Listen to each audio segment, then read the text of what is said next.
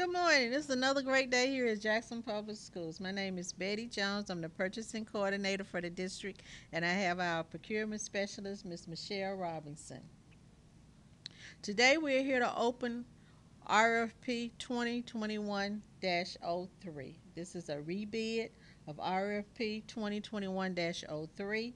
The title is Jackson Public Schools seeks a pool of college and university partners to provide teacher certification program support and an English as a second language ELS endorsement. We have one proposal submitted. We have no paper bids for today. Our one and only proposal is submitted from William Carey University, located in Hattiesburg, Mississippi. There are no addendums to acknowledge. The bid proposal amount is to be determined. This concludes our bid opening today for RFP 2021-03. Jackson Public School District seeks a pool of college and university partners to provide teacher certification, program support, and an English as a second language ELS endorsement. Thank you for your participation and your interest. Have a great day.